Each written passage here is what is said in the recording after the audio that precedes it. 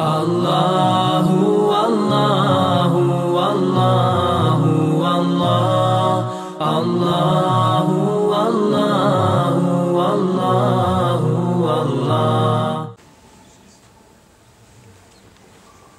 الحمد لله تعالى نحمده نستعينه ونستغفره ونستهديه ونعوذ به من شرور أنفسنا ومن سيئات أعمالنا من يهده الله تعالى فهو المهتد ومن يضلل فأولئك هم الخاسرون واشهد ان لا اله الا الله وحده لا شريك له واشهد ان محمدا عبده ونبيه ورسوله وصفيه من خلقه وخليله ثم اما بعد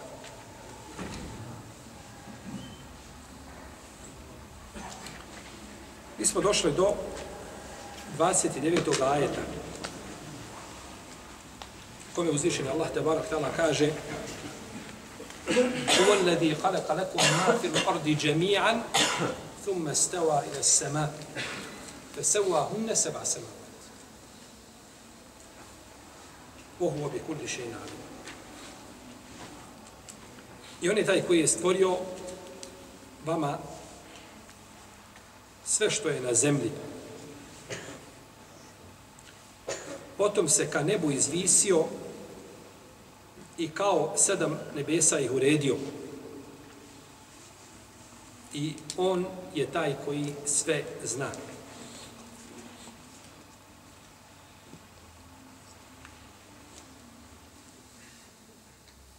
Kuranski ajeti ili od odlika Allahovog govora jeste to što sa malo riječi kažu se velika značenja. Jedan ajet ograničen, znači relativno kratka rečenica, u njoj su brojne pouke i poruke za to vrijeme u kome je objavljen i nakon toga do sudnjega dana. I to je univerzalnost kuranskih tekstova ili kuranske, kuranske poruke, kuranske ajeta. Iz toga islamski učenjaci kada su tefsirili, oni su tefsirili nešto. Osnovno govorili, u protivnom Kur'an se može tefsiriti na hiljade, u hiljade tomova i na desetine hiljada tomova, kada su kazali stotine hiljada im su pogriješili. Da bismo pogriješili. Kaže, imam Fahr Razi u svome velikom tefsiru koji se zove Mefatihul Gaib. Ključevi gajba. To je uzeto odakle? Odakle su uzeti ključevi gajba? S Kur'ana. S Kur'ana. Jer ponekad su učinjaci uzimali, je tako, značenje Ulehume fatiha ul gajbi la ja'lemuha illa hu. Kao što uzeo imam Sanani, Subulu Selam. Pa je rekao u tom svome tefsiru na u uvodnom dijelu kaže kada bih htio govoriti o suri Al-Fatiha koliko znam i koliko mogu kaže napisao bih napisao bih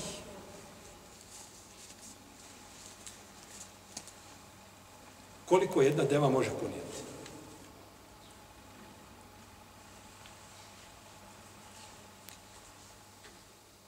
Znate koliko deva može ponijeti? Himnu ba'ir. Jedna deva može puniti 300 kg, prilike. Deva nosi koliko? 300 kg. Da je htio imam Fahrudin Razi da napiše o suri Al-Fatiha, mogao je napisati od prilike nekih 300 tomova. Da kažem, jedan to ima kilogram, 300 tomova je mogao napisati o suri Al-Fatiha. Što mislite, kakav je to, kakav je to ovaj, poznavaoc značenja Kur'ana. Ali je nešto malo napisao, dao nam onako nešto malo iz tog svog tako mora, Uprotiv, zamislite da je sura Al-Fatiha 300 tomova, koliko bi taj tefsir izgledao? Život Nuh, ali salam je bio kratak da, da tako, da ga čovjek ovaj, samo prelista i da pogleda naslove a da ne govorimo znači ovaj da ga svati i da razumije i da zapamti to što je imam, jeli, taj veliki imam zapisao. I to je, znači, a, je tako, veličina i ljepota Allahovih riječi. وَلَوْ أَنَّ مَا فِي الْأَرْضِ مِنْ شَجَرَةٍ أَقْلَامٌ وَالْبَحْرُ يَمُدُّهُ مِنْ بَعْدِهِ سَبْعَةُ أَبْحُرٍ مَا نَفِدَتْ كَلِمَاتُ Inna Allahe azizu Kada bi, kaže uzvišenje Allah u suri Lukman, kada bi na zemlji sva stabla olovke bila i kada bi more podpomognuto sa još sedam mora, bilo sve mastilo, tinta za pisanje, ne bi se ispisala Allahove riječ. Iz toga u svačijim riječima riječima bilo kog čovjeka se može dodati, može, može se od toga oduzeti, međutim, riječi uzvišenog Allaha za ođel, njima se ne može ni dodavati, ni oduzeti. Zato što je to original. Kao na riječima poslanika, sallahu sallam, ono što je, je tako, objava od uzvišenog stvoritelja, te barake, o teatru. Imam Ibn Arabi, Ebu Bekr, poznati malikijski učenjak, je sjedio sa svojim učenicima do izlaska sunca. Od prije zore bi se sastali, pa do izlaska sunca bi sjedili, svaki dan tefsirili Kur'an. Pa, je on, pa su oni pisali ono što je šejh tefsirio. Oni su pisali. Pa je ispisano za 20 godina ispisano je 80.000 listova. 160.000 stranica manuskripta. To kada bi danas štampali mi, sa nekakvom valorizacijom i tako dalje, možda bi izišlo bliže, možda između 400 i 500 tomova.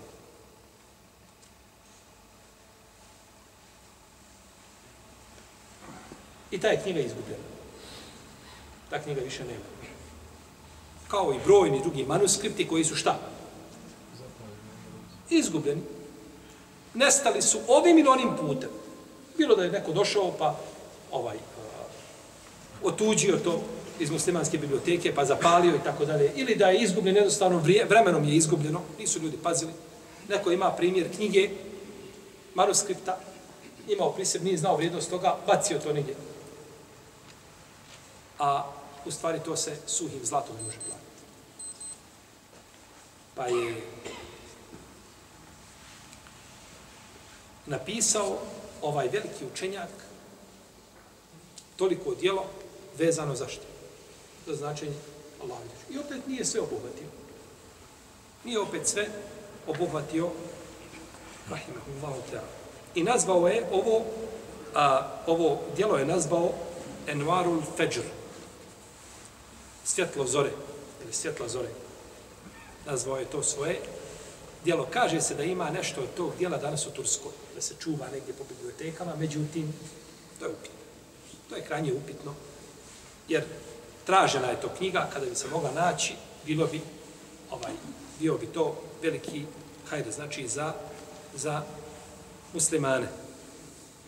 Jer on kaže u njegovo vrijeme, kaže, pa sam pokušao da to prikupimo od ljudi, pa nisam mogao ovaj zapiše nešto, drugi zapiše. Znači, pisao je ko je šta mogao, međutim, to se nakon toga raširilo, znači, među ljudima i bilo je sve ovaj podijeljeno i razbacano da nije mogao to sakupiti. Pa tako da danas da bi se nešto našlo od toga, to je, jeli, ovaj, upitno da li bi moglo se, znači, nešto naći od, od, te, od te knjige. Bitno je napraviti razliku između Ibnu Arabija, El Malikija i Ibnu Arabija a, a, Muhyuddina. Ibn Arabi el Maliki, Ibn Arabi, kod njega se piše sa određenim članom, kažu da se razlikuju. To je poznati malikijski učenjak. On je umro 543. hiljadske godine. A, I on je autor djela El Kabes, komentar na Malikovu Uetu. Ali komentar na sunan imama Tirmizije, isto tako ima Ahkjamul Kur'an u četiri toma, tefsir Kur'ana, skraćeno, znači nešto napisao. Ima dijelo En Nasih wal Mensuh, dokidajući i dokinuti ajeti. Ima dijelo koje je prevedeno na naš jezik, koga zna? El Awasimu min al Kawasim. Je li prevedeno? Zašto? Je li to prevedeno? Jeste. To je njegovo djelo. Prevedeno je naš jezik. Jeste.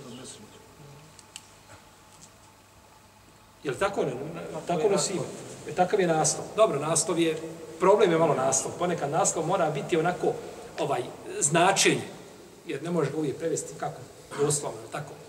Za razliku od Ibnu Arabija, Muhjuddina, El Ta'ija, El Hatimija, koji je poznati šeheh Tesawufa. On ima svoje dijelo Futuhat, El Futuhatul Mekije, ima svoje dijelo Fususul Hikem i on je prevedeno na jezik. Njih su dvojica, ovaj je umro 638. hiljške godine. Znači stotinu godina skoro nakon koga? Ebu Bekra, Ibn Al-Arbi, Al-Malikije. Pa je neophodno praviti razliku između, između njih, između njih dvojice. Dobro. Kaže uzvišeni Allah azuđel, huva alladhi halaka lakum ma fil ardi džemijan. On je taj koji vam je stvorio sve što je na ne, zemlji. Stvorio je iz nepostojanja. Nije bilo, pa nakon toga uzvišeni Allah to stvorio vama, o ljudi, kao blagodat od njega, da se potpomognete u vašem dunjalučkom životu. Neki učenjaci na osnovu ovoga ajeta kažu ili ovim ajetom dokazuju da je osnova kod stvari koje se jedu, konzumiraju, znači oblače i o tome, da je osnova da je to halal. On je taj koji vam je sve stvorio. To vam je dao. Pa je osnova da je to šta? Pa je osnova da je to halal. Osehara lekom ma fi samavati o ma fi ardi džemija mi. I on vam je počinio sve što je na nebesima i sve što je na zemlji, sve od toga. Počinio vama o o ljudi. Pa nije vam zabranjeno osim ono za šta postoji dokaz da je šta? Da je zabranjeno. Znači sve je dozvoljeno osim onoga za šta postoji dokaz da je zabranjeno. Jer je uzvišen Allah stvorio tako čovjek da se time pomogao. Nešto je stvorio što mu je zabranjeno i svoje mudrosti koju on zna da bi ljude iskušao ko će mu se pokoriti, komu se neće pokoriti. U protivnom je sve što je na zemlji, osnova je da je to, da je halal. Pa kada hoćeš da jedeš, ne znam, meso određene životinje, neko uhvatio zeca, kakav ćemo dokaz tražiti? Da ga je dozvoljeno jesti ili zabranjeno? Šta mislite? Je zabranjeno. Tražimo dokaz da je zabranjeno. Jer je osnova da je šta? Pa ako ne nađemo dokaz da je zabranjeno, i ne nađemo dokaz da je dozvoljeno, onda je šta? Dozvoljeno. A našto ako imamo dokaz da je u vreme poslanika, sada su pojeli zeca i poslali njemu ovaj prednju nogu, pa je poslanik jeo, sallallahu sallam, znači to je onda dokaz, znači definitivno da je dozvoljeno. Pa sve od životinja što se nađe, uhvatili ljudi medvjeda. Nekoga upucao i prikolju ga kažu, dobar, možemo ga pojesti. Kaže ovaj jedan, kaže ovaj, to je haram jest. Kažu ovi, nije haram. Osnova je da je dozvoljeno. Pa ko bi sada morao imati dokaz? Ovi što kažu da je haram, oni moraju imati dokaz za medvjeda. Da ga ne smiju pojesti. Jer dobro, uzeli smo medvjeda postoji razdruženi činjacima. a ne fizičko učenjaci kažu da je haram jest medvjeda. Ima i neki koji dozvoli, kažu ako medvjed nema ovaj, uh, ako oblik njegovi, znači, kanđi nije, znači, kao u zvijeri koji trga životinju i zubi, onda bi, kažu, mogao proći da se jede. Bilo bi mekru. Neki, uglavnom, ispravno da, da medvjed ulazi u, u, u, u zvijer koji je zabranjeno jesti. Listca. tigar, lav i tako dalje. Ono što je izuzeto, što je zabranjeno, to je zabranjeno. A u protivnom je čovjeku šta? Dozvoljeno da da jede sve što je znači a, na zemlji dok ne dođe dokaz da je zabranjeno. Kažu, to bi se moglo razumjeti šta je svat iz Ibn Arabi uh, Maliki nije prihvatio. Kaže, ovdje je spomenuto da je to došlo, da je uzvišio da Allah počinio čovjek, da bi time se čovjek potpomogao u obožavanju svoga gospodara, odnosno da bi to bio dokaz Allahove milosti prema njemu, a nije dokaz, znači da je sve što je došlo da je, a, da je osnova u tome, jeli, da je šta? Da je, da je halal. Međutim, pravilo je kao pravilo ispravno. Sad doće se dokazivati ovim ajetom bi nečim drugim, to je drugo. Ali je pravilo kao pravilo šta? Znači, pravilo je, jeli, da je, da je čovjeku dozvoljeno da jede sve što nije jasnim argumentom, znači, zabranjeno. Haleka lekom halaka lekom ma fil ardi džemijan i on vam je stvorio sve što je na zemlji. Stvorio vam je sve na, što je na zemlji radi pouke. Da uzmete pouku iz toga što je uzvišeni Allah azzawajal stvorio i da bi znali da će uzvišeni Allah isto tako ljude u, umrtviti, pa će ih ponovo živjeti, pa će ih proživjeti, proživjeti znači na sudnjem danu. I onaj ko je moćan da stvori vama sve i da stvori nebesa i zemlju i da vas stvori u što vi nimalo ne sumnjate, taj isti je moćan da vas šta? Proživi i da vas nakon toga obračunava za vaša djela. Pa se čovjek ovim a, stvarima koje se tiču rububijeta podpomogne da dođe do uluhijeta. I to je kuranski metod i to smo spominjali više, više puta.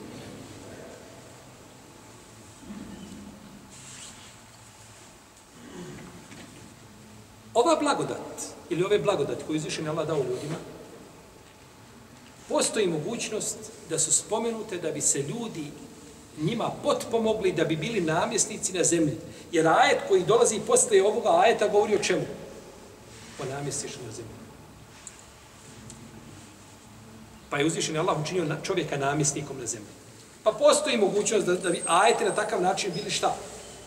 Da bi bili povezani. Je tako? Pa uzvišen je Allah od njega nama dolazi, spusta nam se samo hajr. A od nas se našem gospodaru diže šart. Uzvišen je Allah, ljudima daje dobro, a oni to njemu vraćaju time što su mu nepokorni. I, nažalost, ta nepokornost prelazi do stepena, znači da većina ljudi ne priznaje stvoritelja Tebarake. Ote.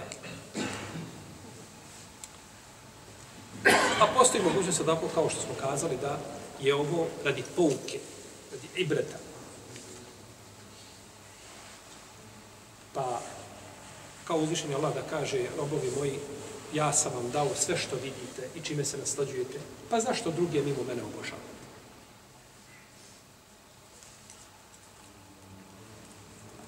Kale kalekom mafil ardu džemijan. On vam je znači stvorio sve što je na zemlji da biste se potpomogli i da biste svoja tijela osnažili da mu pokorni budete. Da održavate, znači, ovaj vitalnost, kondiciju svojih tijela, svoga razuma, da bi mogli biti pokorni stvoritelji, te barake, oteano. I kažu neki učenjaci da bi čovjek vidio veliku Allahovu plemenitost prema, prema, prema njegovim stvorenjem. Jer blagodat ne zna nego onaj koje izgubi.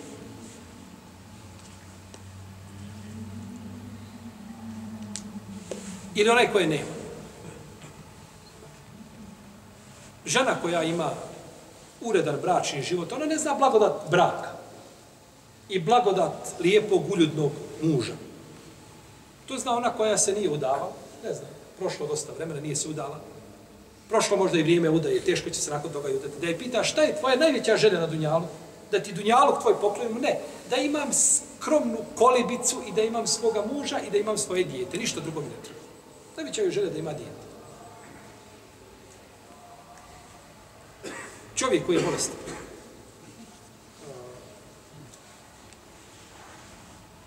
Da mu kažeš, ići ćemo na izlet, ići ćemo, putovat ćemo to. Ne, ne, moja želja je samo da ostaje, ništa drugo. Jedina želja je da budem zdrav. Bolesnik ima samo jednu želju. I tako bilo koji drugi čovjek čime, ne, čime, koji nečim iskušan. Došlo u hadisu od Allaha ibn Mihsana el-Khatmija, od imama Tirmizu u njegovu sunenu, sa dobrim lance prenosilaca, da je poslanik sa osanem rekao, kaže, men asbaha minkum aminan fi sirbihi, muafen fi jasadihi, jemliku kute jeumihi, feke ennema hizet lehu dunja vi hadafiriha. Kaže, ko od vas osvane u svojoj porodici siguran i zdrav. I ima taj dan šta da jede, kao da mu je neko cijeli dunjaluk ponudio ispred njega. Spominje se šta? Ko osvane siguran i ko ostane zdrav.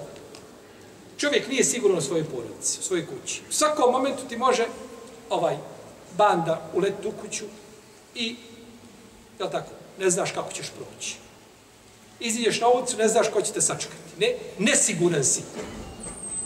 I kaže ti neko, hajmo, ima lijepa fešta, ima, bit će ovaj, teletine lijepe, bit će. Živi bio, neka me u kući, moje vrata zaključa. Nema blagodati. Kada si nesiguran, nema blagodati. Neko ti donese najljepšu hranu u tvoju kuću, gdje ljudi najviše uživaju tako jelo i piće.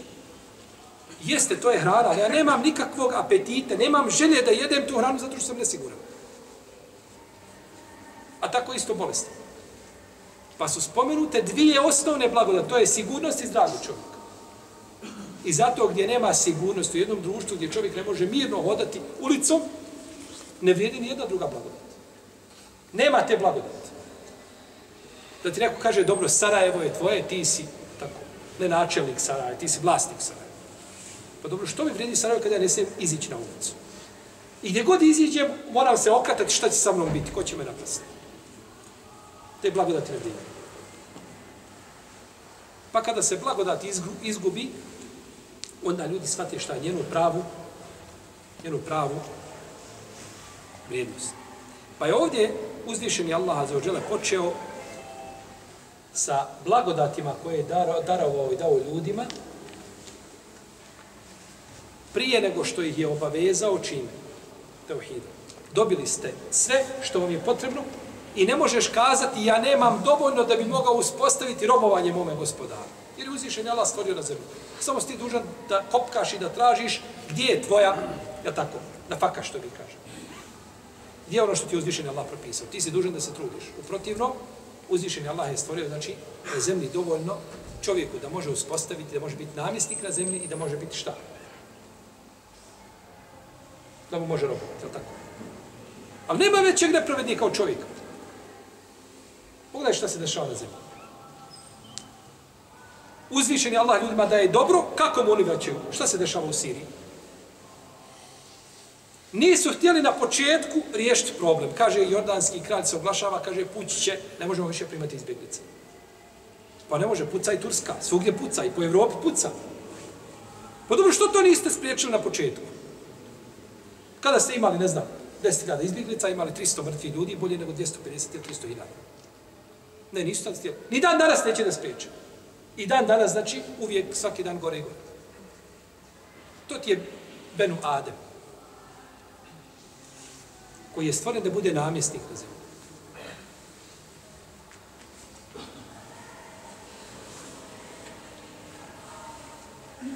Kažu islamski učenjaci da je od ružnog mišljenja prema stvoritelju da smatraš da će te ostaviti na cjedilu. Da ti neće dati. Sve što je stvorio na zemlji, stvorio radi čovjeka.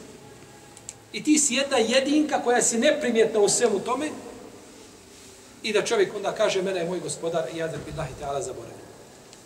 Istečno, nije mi se smilo, a istečno to. To je znači od ružnog mišljenja prema uzvišenom, prema uzvišenom Allahu azza wa da Jer nam je on sve znači počinio i sve nam je dao. Ovdje se kaže ma fil ard. Ma, čestica ma, znači je, označava općenito sve. Potom tu česticu ma potvrđuje sa džemijan. Sve u potpunosti. Ništa. Znači da ne bi neko mislio da je nešto stvoreno radi nečega. Ne, sve što je na zemlji stvoreno je radi tebe, Allahu rob. U tvoji je korist. Pa ono što je zabranjeno, ako ga se kloneš, u tvoji je korist. A ono što je Allah ti dao, ako koristiš na ispravan način, opet je u tvoju korist ovo svjetsku i ono svjetsku. Pa je čovjeku, znači, u tome velika, znači, ovaj korist. I zato je od pogrešnih ubjeđenja jeste da ljudi na osnovu onoga što je neko dobio na ovome svijetu mjere i važu ga. Vaga biva tako. Ako ima, dobar je. Ako ne, nikako. Kur'anske priče sve ukazuju suprotno tome. Da su najveći nepokornici imali, a najbolji ljudi šta? Poslanici da su bili siromašni. Pa siromaštvo i imetak ovdje na Dunjaluku ne mogu biti vaga. To je vaga gdje? Na Ahiretu. Ko dobije na Ahiretu, taj je dobar. A ko nije dobio, taj nije dobar. Što si manje dobio, manja ti je vrijednost. To je ahiretska vaga, nije Dunjalučka. Pa je tako na Dunjaluku pogrešno rezonovati, pogrešno znači pogrešno znači tako vagati, vagati stvari. Jer uzvišeni Allah kada nekome daje, kada uskraćuje, to daje iz mudrosti koju ne može pr pravi smisao te mudrosti ne može dokučiti niko od ljudi ni od džina, niti njegovih stvorenja općenito, ni meleka. Jednom daje, drugom uskraćuje. A vidi se da je jedan bolji od drugog. Međutim, Allahova mudrost u tome zna samo on. Možda ponekad čovjek da dobije ono što je što bi volio da ima, možda bi to bio razlog njegove propasti. I dunjalučki i ahiretski. Pa ti uzvišen Allah uskraćuje ono što i iskušavate onim što najviše, pa dobro, samo da nije to, da je bilo šta drugo da nije to. Ne, uzvišen Allah hoće to, čime te iskušao. Jer kaže poslanik, sa sam hadisu Ebu Horeire, koga bilježi imam, imam, imam Ibn Hibban, kaže, Allah će iskušavati roba sa onim što mrzi, dok mu ne dadne stepene koje ne bi zaslužio nikada svojim djelom. Iskušavati uzviše onim što prezireš. Pa dobro, ali samo sam kupio auto. Ta, pa nisam se mogao nagledati. I odmah drugi dan, belaj, baš tu. Jer uzvišen Allah hoće da te iskuša onim što najviše voliš, da bi ti dao stepene koje nikada svojim dijelima ne bi mogao, jel tako, uraditi. I kada pogledamo svoje dijelo dovoljno, završimo namaz, neko upita koliko je Fedija rekiata klanjao. Ovaj, dvoumit ćeš se, ne kažemo šta je učio namaz. I koliko puta čovjek klanja sebi sežde pravi, tako? To je dokaz samo koliko je prisutan u svojim ibadetima. Pa uzvišen Allah želi da te upotpuniti u šta tu? Krnjavost, pa te iskušava nečim što ti što ti ne voliš. Tako da kada vidite čovjeka na dunjaluku, nema ništa, to nikakvo, mjerilo nije. Osim ako sebe čovjek sam dovede u tu situaciju zato što ne želi da razmišlja o sebi, pa onda zaslužuje pogrdu. Međutim, ovaj, generalno, znači, to nije šta. Nije nikakvo mjerilo. Pa ne možemo kazati da je čovjek siromašan, da je Allah na njega ljubiti.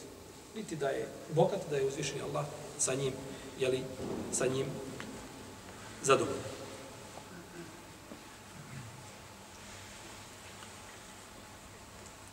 U ovome smislu uzdišen Allah kaže u Kur'anu govoreći o kakve bi, kakve bi blagodati dao nevjednicima.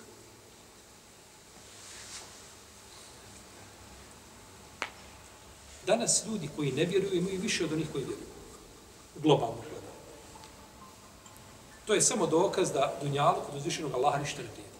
Jer da vrijedi uzvišenog, kod uzvišenog Allaha ovaj dunjalu koliko krilo mušice, ne bi nikada nevjernika butlaj vode na napojio. Kako je došlo u hadisu poslanika sa osam.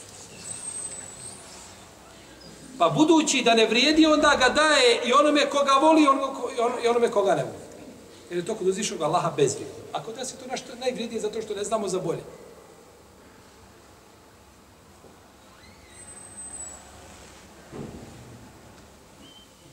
Pa uzvišeni Allah azuđel u Kur'anu kaže Neula in yekuna nasu ummatan wahidatan laj'alna liman yakfuru birrahmani li buyutihim sukufan min fiddatin wa ma'arij 'alayha yadhharun. Kaže uzvišeni Allah da ljudi ne bi svi postali isti. Ili kada ne bi svi ljudi postali isti, mi bismo, kaže, dali onima koji ne vjeruju u milostivog, krovove od srebra i stepenice od srebra kojima se penju.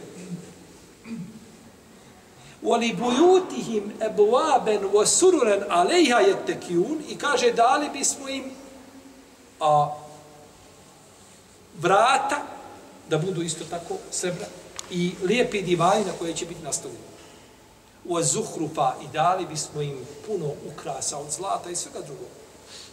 Wa in kullu zalika lamma mata'u al-hayati dunya a kaže to je sve naslađivanje na ovom dunjaluku.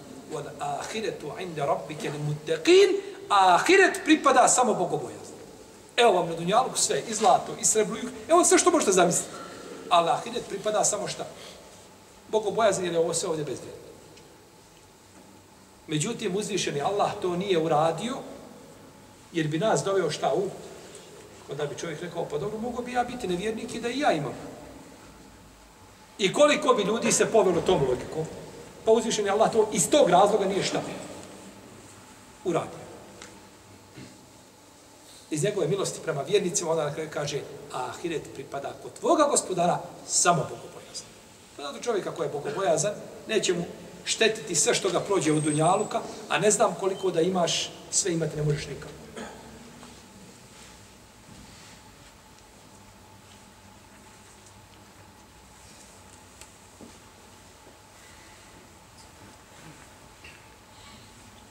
Pa je,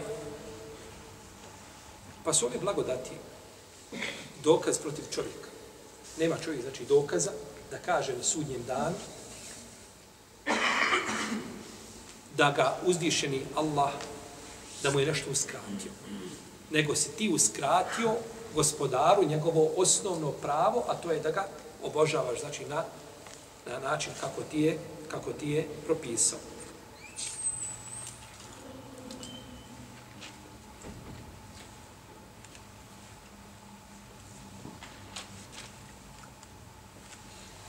Dobro, pošto ovaj ajet je poduži, nastojat ćemo možda da ga u narednom predavanju završimo. Iako nisam siguran Pa ćemo se ovdje zaustaviti. Allah ta'ala wa sallallahu alaihi wa Muhammed wa ala alihi wa sallam. Allahu